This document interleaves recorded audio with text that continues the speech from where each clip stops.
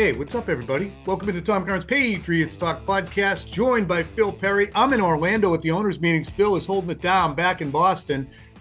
And first things first, let's get right into not Patriot related stuff, Phil, but NFL related stuff. We got a new kickoff enacted on Tuesday by the league. No more will the beginning of the game look like Braveheart with 10 men running proudly in headlong into battle now they're just going to be down the field, way away from their kicker, waiting for the thing to drop, and then they'll scurry into each other. But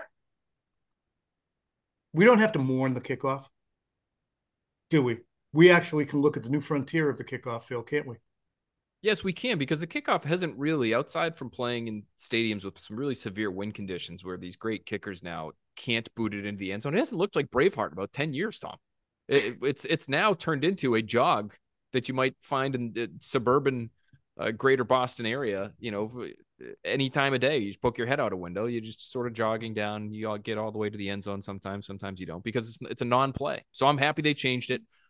I think it could lead to a lot of creativity, Tom. And yep. I think it could lead to, especially in the first year here, as people are still finding their footing, it could lead to points. We could and see so, a lot of big returns. I, I I agree. I like it. Um, just to verbally go through it, the easiest way to do this, I don't know if you guys are visual learners, audio learners. I, I learn best by actually seeing something, but I'm going to do the verbal explanation of what this mess looks like for you. Under the new rules, 10 players on the kicking team and at least nine players on the receiving team will line up just five yards apart. They're on the 40. Okay. The, the kicking team's on the 40. The, the blockers line up on the 35. They can't take off. They can't do any moving at all until the ball either touches the ground or is received. So basically, of the 22 players, we only got the kicker and one or two kickoff returners who are not lined up five yards apart. So, boom. Um, there are penalties for not kicking it to the returner, really, in, in, in essence. Um, the kick has to land between the 20 yard line and the goal line. A kick that goes out of bounds or short of the 20, receiving team gets it at the 40, Phil a kick that goes into the end zone for a touchback goes out to the 30. Okay. Penal. Penal. Not a 25 yard touchback anymore. So kick it to the damn returner and, and see what happens. This is done to drive down the injuries from full speed headlong dashes downfield, which end in collisions. But you know, Bill turns his back for one second, one second in 50 years, he's out of the league and they've changed his kickoff. It's unbelievable. He'd be good on the kickoff.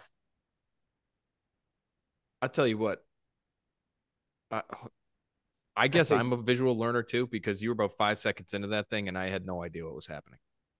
I, uh, I, I really? need to, I need to see it. I need to see it. And I did. I for anybody out there that's looking at their phone and, and saying the same thing as me, or you're like Tom and you need the visual, I did tweet a video that Adam Schefter uh, posted about what this thing will look like. It's an XFL kick um, that they've had for a bit, supposedly. Uh, and then Tom Pelissero has the full rule if you want to just read the rules broken down, because I'm sure we'll get into it once the games actually start. Tom will be wondering what they can and can't do and how can they try to take advantage of this thing. I just do like there's there's a newness aspect to it that I like that I appreciate. It will keep I think it might keep kicking game players in the game. Like you don't want to see yeah. guys lose jobs because of this. So I like that aspect of it, and and I like getting rid of the old one because the old one was really not a play. I mean, how many times did they just dump it into the the back end line? Yeah, and then you'd go to commercial, and it'd be like, you know, the, the, game was supposed it. to start at 105, and you're you know sitting there at 113, and nothing's happened. Yeah, it's an icing, just an icing. Um, not as excited are either of us, I'm sure, about the hip drop to me, you are asking the guys who have the worst view on the planet of a play that is occurring, the referees, because they are too close to the action to make a call on something with giant men are going full speed. And the differences between a hip drop, which means that you are generally tackling from the side, and then you are letting your legs and your weight swing around, kind of like a stripper pole. You're basically using the the ball carrier as a stripper pole, and then you're sliding down and dropping on his ankles. Sometimes it just happens that way because you were approaching from the side and the guy's going fast and you swing around him and you land on your bum, bum bum. So it's going to be very hard to legislate. I understand why they want to do it because the incidence of injury on a hip drop tackle is high, but hip drop track tackles themselves are not that prevalent. I'll additionally say I just think that they're ill equipped from the vantage point they're in to make the call correctly all the time because there's a few different elements to it. And I can see non hip drops getting penalized and hip drops being missed. And that's why I think it should have been a five or a 10 yard penalty in this first year until they tell what they're seeing. Phil, your thoughts, and I know that you also um, had some thoughts from Pro Football Focus, uh, Sam Monson, that you thought were yeah he yeah Sam sort of um, changed my initial opinion of this because I think I sided with defensive players and because uh, I feel for defensive players in some regards. There's been so many rules changes that have made their jobs more difficult. Um, but Sam, who I've gotten to know a little bit over the course of the last few years, really smart guy. Um, Irish and has lived in the UK and lived in Ireland um, and has a rugby background. And he had a long thread the other day and, and attached some videos to it. And I just found it interesting where he makes it very clear that it is possible to control yourself in some of these moments as far as his rugby experience is concerned. Now, are NFL caliber athletes moving at a different rate of speed? Yes. Are they a lot of times bigger than these rugby guys? And so maybe it's harder to stop momentum. That's just physics. Probably. But they have a they have it pretty down, it looks like in the rugby world, where when you are wrapping up on somebody's legs, you just allow your weight to drop straight down as opposed mm-hmm. to flinging your your hips to the side and using it as a stripper pole as you said. Like yeah. it, it does feel like they should be able to manage that to a degree. And i want to say this too it's like hip drop tackles are not something you see like 15 times a game. Yeah. It might happen like once or twice a game there are probably games where it doesn't happen at all. And so I, I don't, I think from a defensive player standpoint, does it make your life a little bit more difficult? Yes. Is it completely possible to control your body in such a way that you're not picking up 15 yard penalties left and right? Also, yes. And I would say mm. I like the idea of the rule, Tom, because I don't want to see playmakers get hurt. And anything you can do that doesn't drastically, drastically change the game to make sure these guys are on the field more and they're not coming down with high ankle sprains for, you know, because somebody just decided to land on the back of their legs after a four yard gain. They like, didn't decide. I'm it okay with that. that way. They're not I don't know. people make it pretty compelling arguments out there. It does seem like there are some guys who are a little more prone to it than others.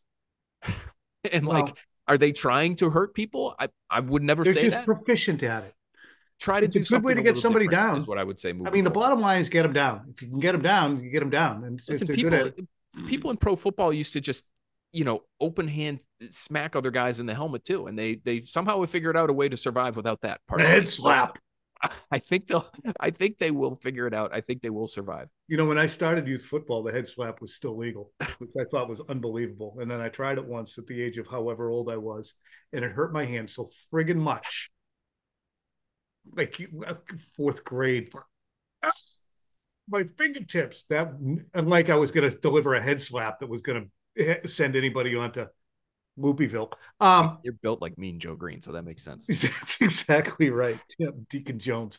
Um, Robert Kraft spoke Tuesday morning at 8:30. We're going to get you three takeaways from Robert Kraft. The first one for me is Robert cannot help himself with his horniness for a quarterback and I think it's going to be well, an overarching thumb on the scale. Here's Robert talking about quarterbacks.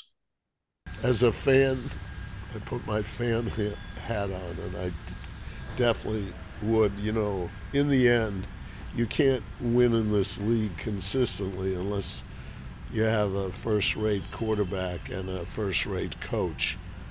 On the other hand, you're in different position, and uh, we've never been in the third draft position since we've owned the team. And what happens, a lot of people behind are really desperate to move up, and so we're we're going to be open uh, to whatever can come our way. But in the end, I'll let the team make the decision what they think is best. One way or another, I'd like us to see us get a top rate young quarterback. Phil, look, maybe Robert just wants the fifth son back. Okay. It was Drew, it was Tom, it was Mac. Now he just can't do it without the fifth son. So he wants the quarterback.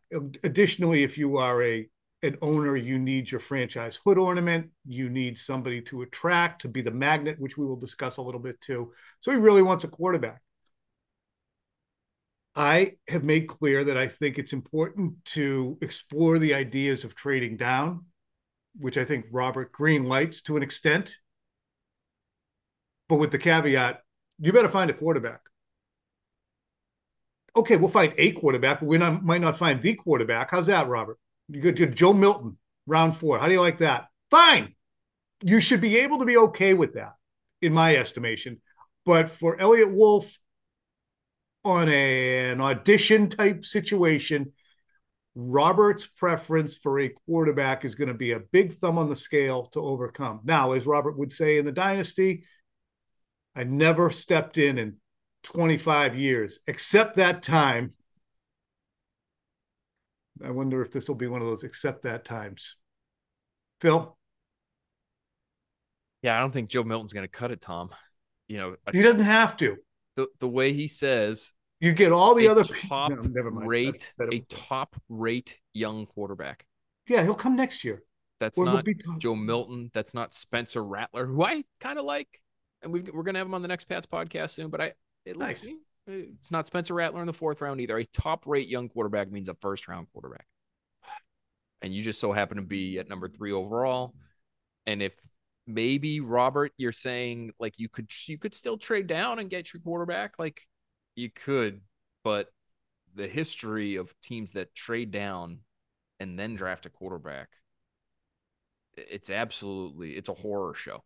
Joe Flacco. I don't know if they traded down. Kyle Boller. Shit, Kyle I Boller. Believe, I think um, trade down. It's a horror show. So Tom, you're you're right. It's going to be it. It is impossible, in my opinion, for Eliot Wolf to ignore this and not take a quarterback. He, Tom, he doesn't yet have the job. I know, I know. Robert Kraft again today that... confirming that they're going to be doing interviews after the draft, and so now he's saying they want a top flight young quarterback, and Eliot Wolf's going to say, "Yeah, yeah, I know what you want, Robert. I'll tell you what you really need. They need a top flight young quarterback. So for anybody out there who's by now weary of my intimations of trading down, it has again nothing to do with the fact that quarterback is unimportant. It is important, but I'm talking support system. So if you don't do it in the first 35 picks, I don't think that's the end of the world.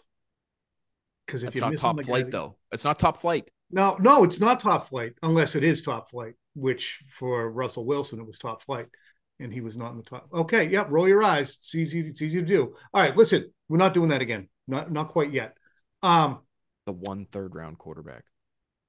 Okay, Dak Prescott. Yeah, the one fourth round quarterback. Tom Brady, the one sixth round quarterback. Brock Purdy, the one seventh round quarterback. Terry McLaurin. Yeah, he was a, he was a receiver. Was fifth round. he needed a fifth round guy. Three.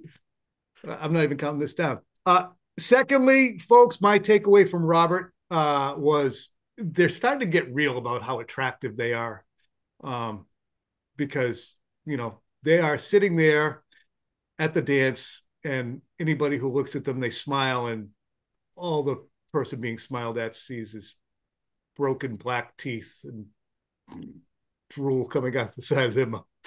No one finds the Patriots attractive right now uh, Robert Kraft.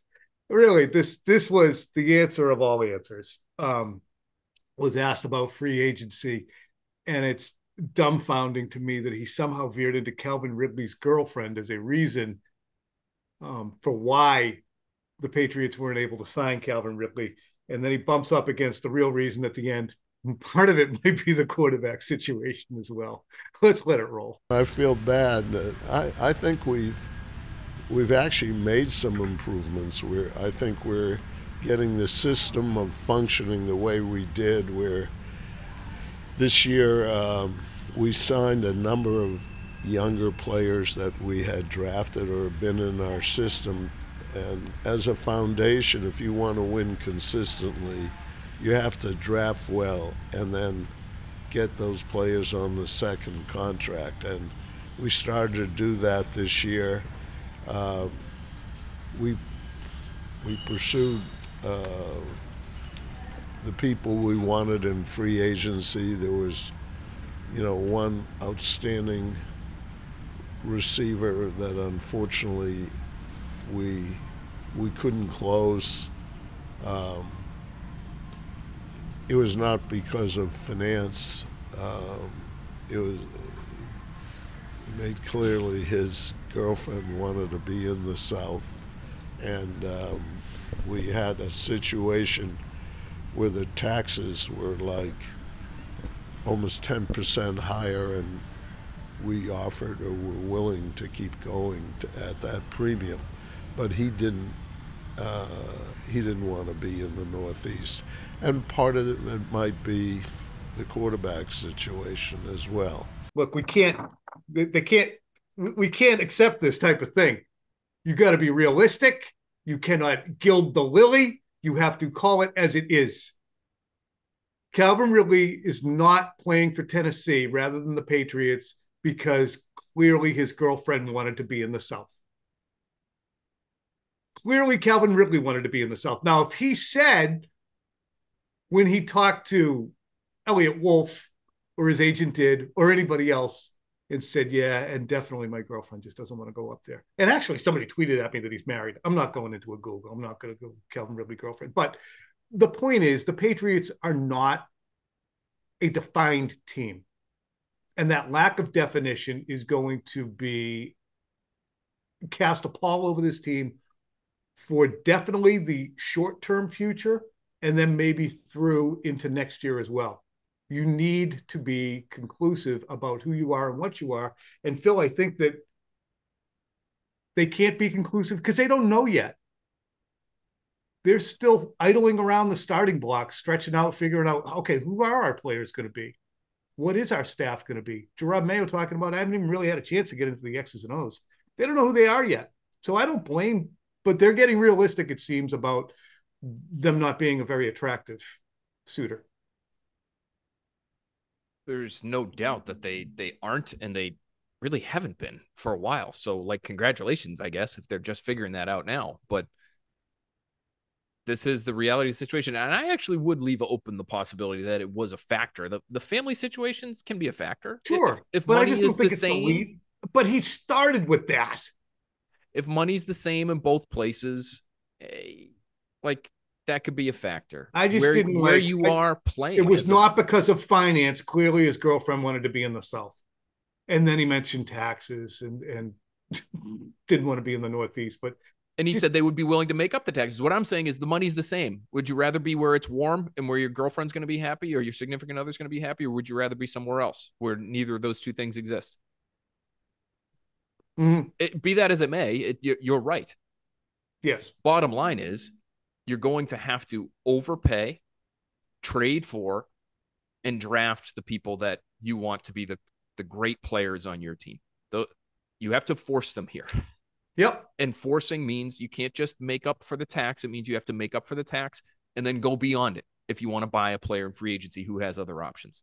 Or you're going to have to make sure you hit like crazy in the draft, far better than you have over the course of the last 10 years, Bill Belichick. Mm-hmm. It's going to mean you, you might have to trade for a guy who doesn't want to be here and show him that this is a place where he should want to be and be here long term and be part of your core for a long time. That's a tough way to operate, Tom, but that's where they are right now. Yeah. And honestly, it's one of my it's what as we continue to have in different iterations this quarterback take him or don't take him debate. One of the reasons to take him for me is because if you hit, not only have you hit on a quarterback, but you've hit on now a better chance to land free agents mm-hmm. who want to come play for said quarterback. Again, if he's good, people I, want to go play with Joe Burrow in Cincinnati and Josh Allen in Buffalo. Those are not destination cities. That's how you become a destination if you're New England and Foxborough. I'll add this too, in support of taking quarterback this year. The continued chatter from top picks about where they would like to go. Um, Caleb Williams, you know, kind of chatter about where he would like to go. Same thing with Jayden Daniels, chatter about preferred locations. And now Deion Sanders basically giving a list of teams that he would like his son Shedeur to go to to play quarterback. Um, I think Baltimore being the only one in the Northeast, maybe Washington too, whatever. Um, if this becomes a creeping tendency among high profile quarterbacks to go back to the John Elway, Eli Manning practice of, I ain't going there. If that blossoms as a new reality because of an awakening for college athletes, then the Patriots want to get on the quarterback train sooner rather than later because you can't, because that stuff can be infectious, Phil. Wait, he said he didn't want to go there? I can do that? I don't want to go there either.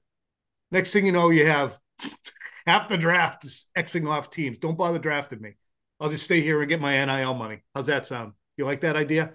So it does actually argue in favor of, and I'm not saying that's a driving dynamic, but just be aware of the smoke on the horizon there. Players have never been more empowered than they are now.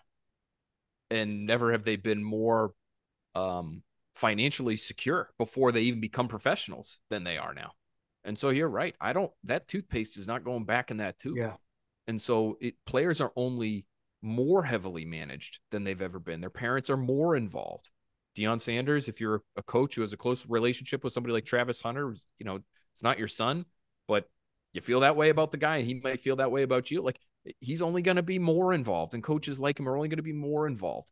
And so it doesn't surprise me that players are it wouldn't surprise me i should say if players start to be more aggressive in determining where they land.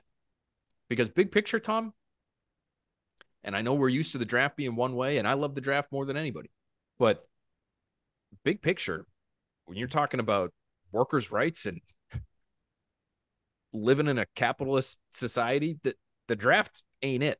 No, the draft tells you where you're going and when. Yeah, and um, maybe that changes at some point. I think we're a long way from that, but maybe the change is the players start to take the reins for their own futures uh, a little bit more strongly moving yeah. forward.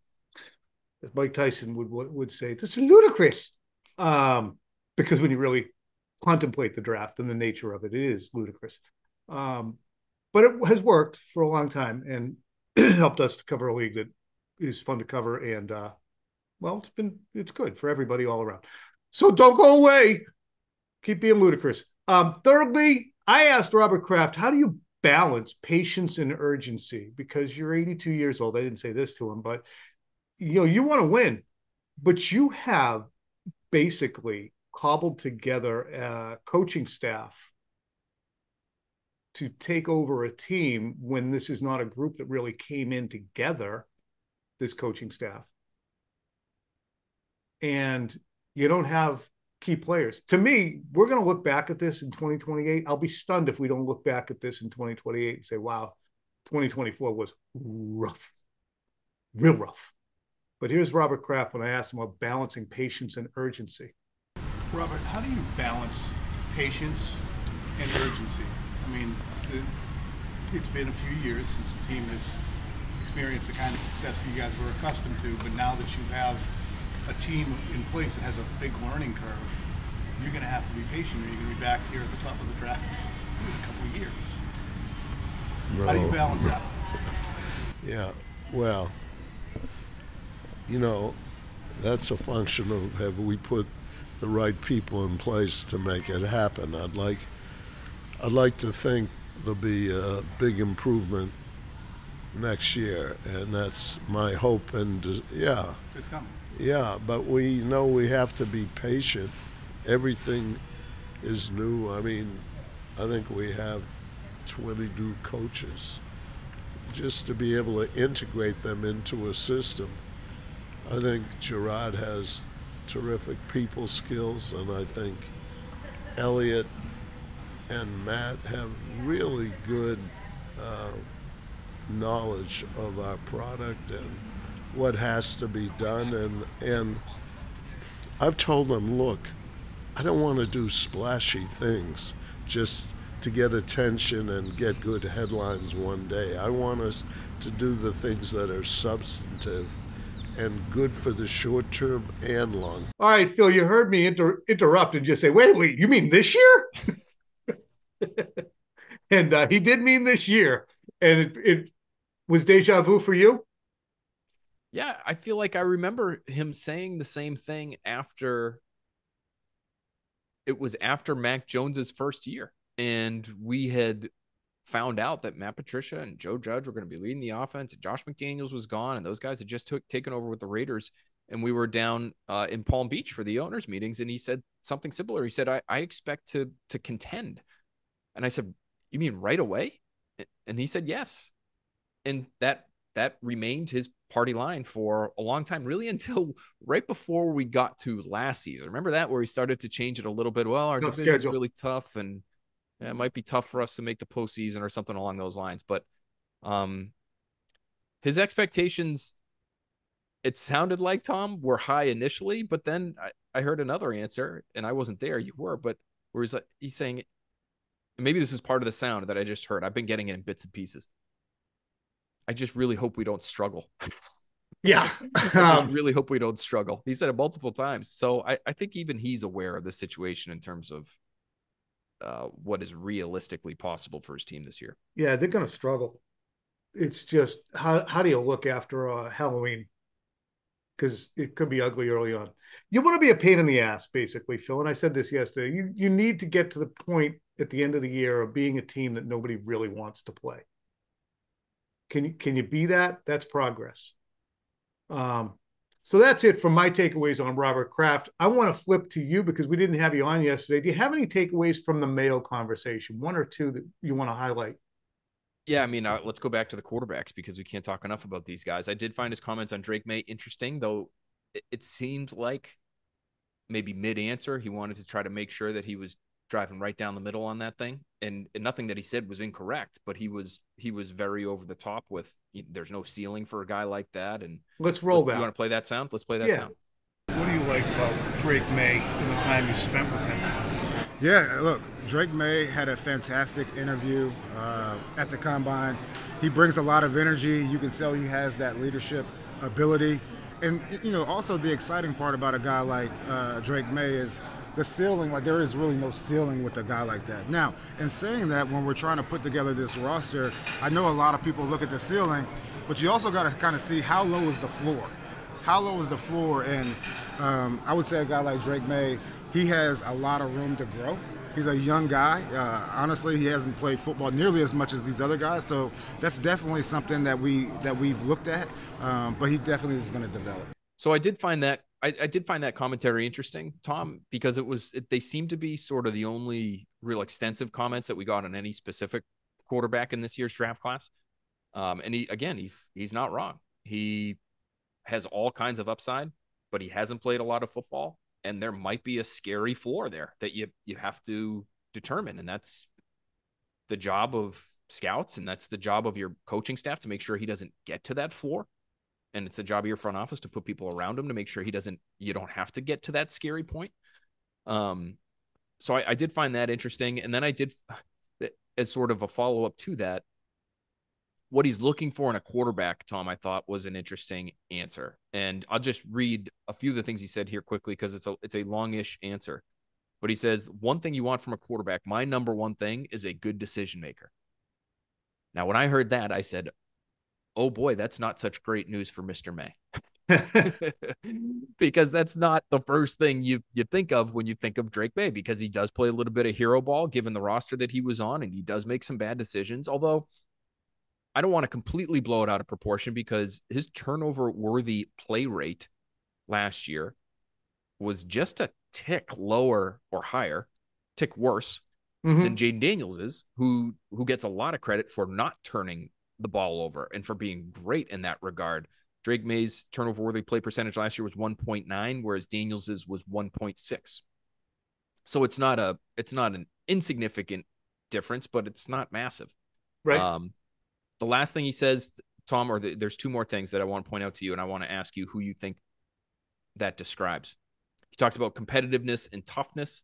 You want to see guys get right back up. You know, their offensive line to help them up. My ears perked up when I heard that one because I, I feel like there were moments, you know, where Mac Jones wasn't getting that kind of help from right. teammates and it maybe told you how his teammates felt about him. That's really reading into body language, but that's what coaches do. That's what scouts do. So you want somebody that the people are going to want to play for. You want one of these magnets that he talks about. And I know that stood out to you too, that comment about having magnets, having guys that, that, um, players in the locker room want to play for. And I yeah. do think, I do think Drake Maye has those other qualities. So while he's he's certainly not number one when it comes to decision making in this year's class, he does do those other things Mayo talks about. Yeah.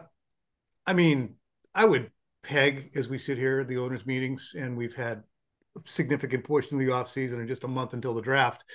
I would say if I had to bet or put a percentage on the likelihood that Drake Maye is the Patriots quarterback, if he's sitting there, I'd put it at 85.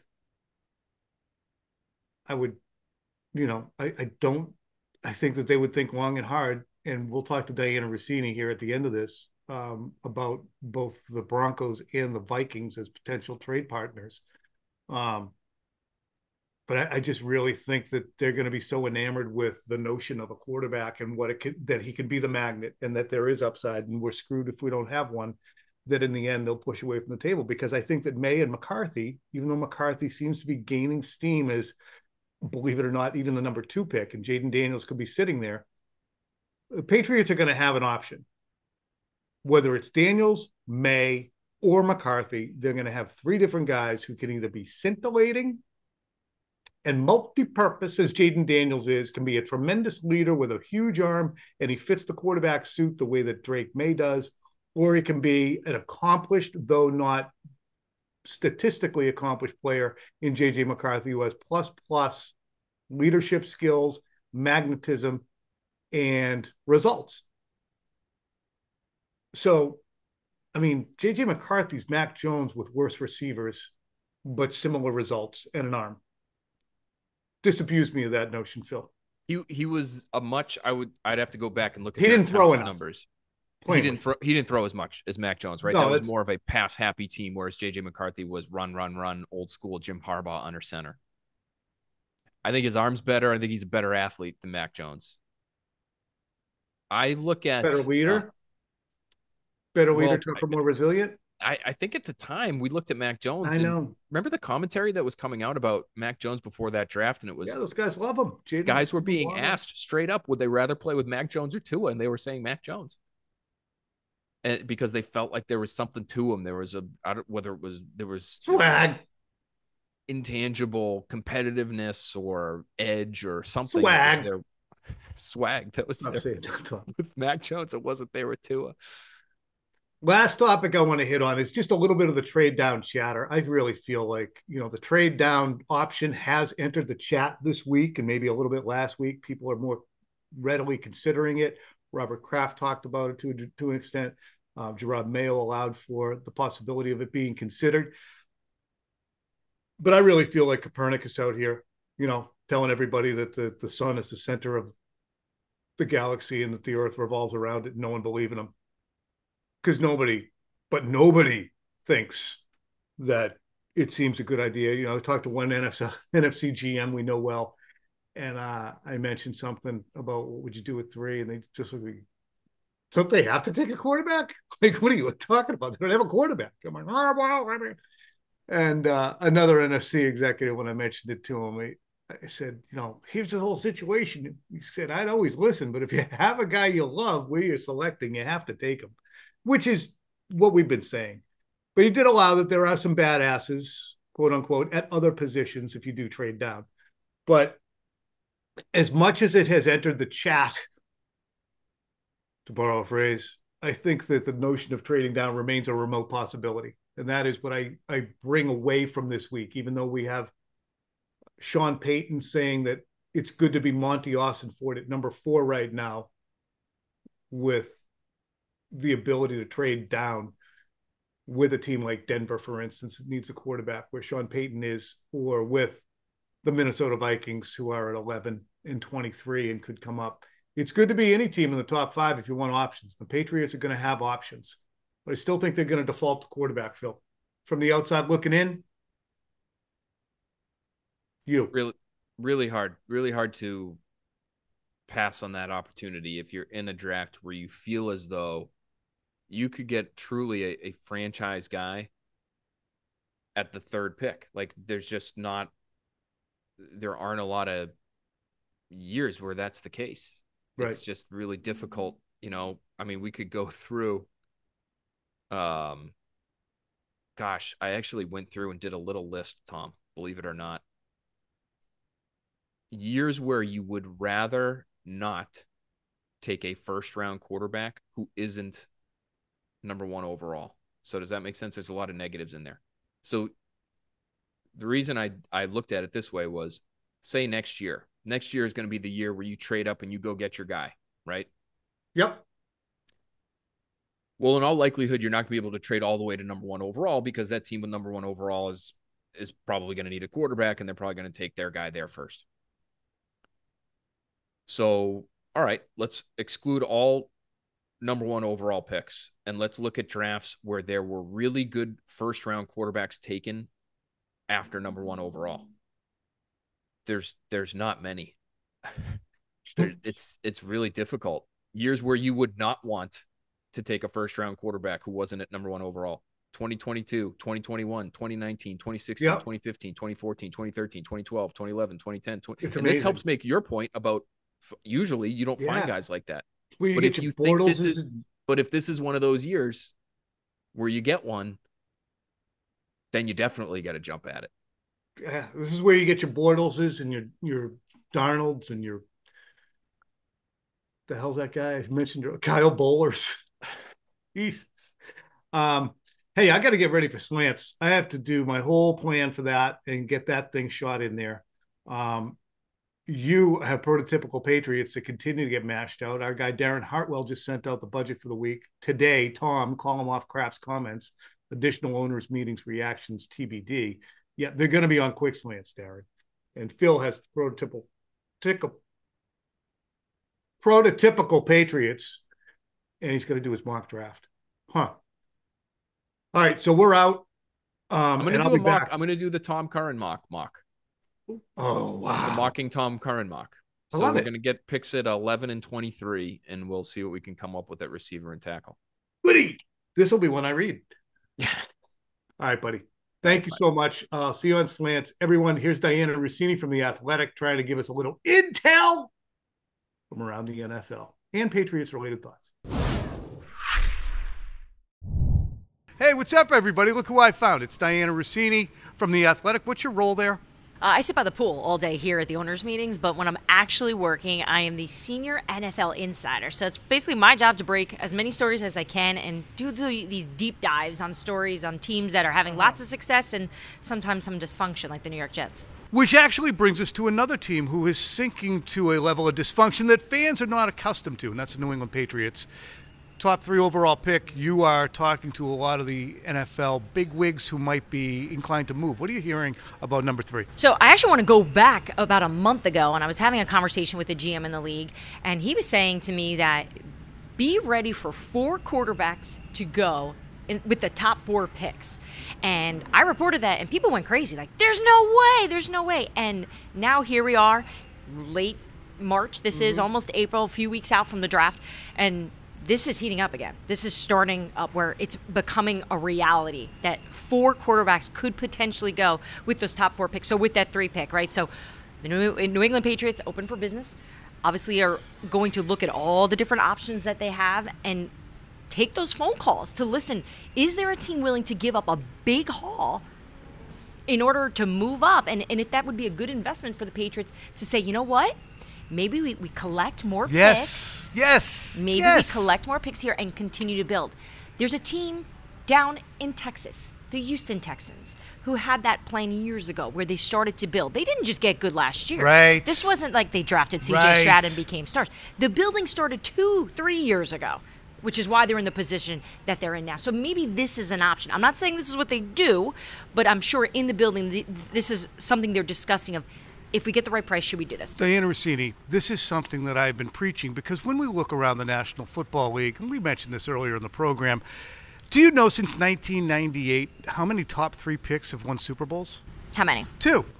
Do you know what their last name was? Manning, both of them. Okay? You don't win Super Bowls with top three picks. Now, is that a high bar? Yes, it is. But they don't even really get to Super Bowls that often. To me, your best move is to be the Eagles, to be the Niners, to build the team around it and plop that quarterback in. If the Patriots decided to do that, would Sean Payton and the Broncos, would the Minnesota Vikings and uh, and Kevin O'Connell, would those be the teams that you would say would be the prime movers? They are, and they're teams that are telling everybody this publicly on the record saying we're making calls to move up. We're, we're in on the quarterbacks.